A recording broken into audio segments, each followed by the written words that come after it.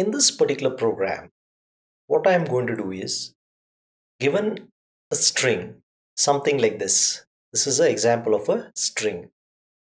What it's asking me to do is convert uppercase to lowercase letters and lowercase to uppercase letters. That's what you mean by this vice versa.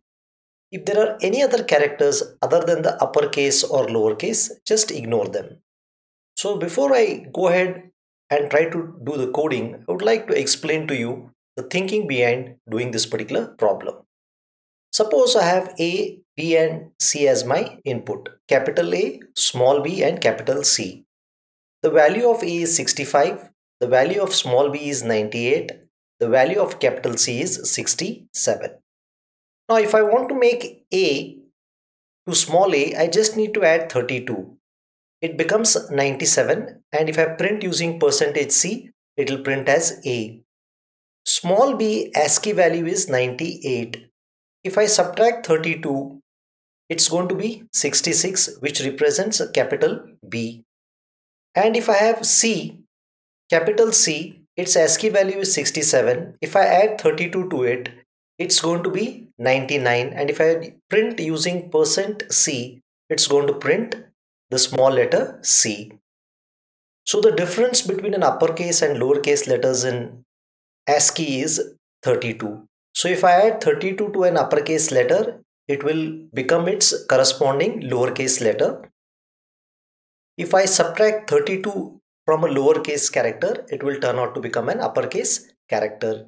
Using that particular logic, I'm going to go ahead and do this particular problem. So I'm just going to define the size of the array as let's say 100. Let's have a bigger size so that we can change the message and play around. All right. So first thing what I'm doing is I have a message called as welcome to graphic era. Let me change a few things. Make this as E. I can make TO as both capital so hopefully you will understand that these signs W will become small, E should become small, T and O should become small and whatever is in lowercase should become uppercase. Then this 1, 2, 3, dollar 5 star 7 nothing should happen to them. They should be printed as it is. Because the problem definition clearly states that convert an uppercase to lowercase and lowercase to uppercase and ignore any other characters. So what I have done is I have defined a function called as transform where I am passing address of this particular string. So when I say str, the address of this particular string is passed to this function called as transform. Here what I'll do is let me define an integer variable i equal to 0 so that this particular thing allows me to travel within the array. So what I'm going to do here is while okay str of i alright is not equal to null that means I have not reached the end of the string I am going to do the following activities. So what I am doing is in the first case I am checking if okay I'll just do a little bit copy and paste so it saves me a little time. Alright if str of i okay is greater than or equal to capital A and if str of i is less than or equal to capital Z, that means that corresponding character happens to be between A and Z, then what I am going to do here is I am going to subtract 32 from that particular, sorry, I am going to add 32 to that particular character so that it becomes from uppercase to lowercase. So initially I is 0, so the zeroth character in my case is going to refer to W. When i becomes 1, I am referring to E. When i becomes 2, I am referring to L. So you can simply think of this as an array of characters. So I'm adding 32. Then there is also a possibility, okay, I'm going to do a else if, that this particular fellow, okay, may be lowercase characters. So in place of A, I'll substitute with small a. In place of Z, I'll substitute with small z and then what I'm going to do here is instead of adding I would now be required to subtract 32 from it so that it ends up becoming an uppercase character so instead of addition I'm going to do a minus here and finally what I'm going to do here is I'm going to say else irrespective of anything else I'm doing nothing I'll just put an empty semicolon to show you that If it is any other character, I am doing nothing. Semicolon indicates an empty statement or a null statement. Just to increase the readability of the program, I have done it. So let me make it separate. So this is if, this is else. This should be else if, sorry, else if.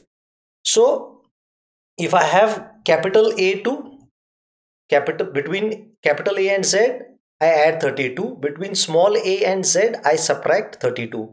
Else I do not do anything. Then the important thing is I need to increase the value of i by 1 so that I end up going to the next character. If I forget to do this, this will go into an endless or an infinite loop. So finally when this is done, I am going to go back into my main. In the main, what I am doing is I am printing the transformed string using percentage %s and str. So what is going to happen here is I am going to transform uppercase to lowercase, lowercase to uppercase, any other character I am just going to ignore. Now what we can do is we can take this particular piece of code and let's try to place it into our online GDB compiler so that we are able to test it out.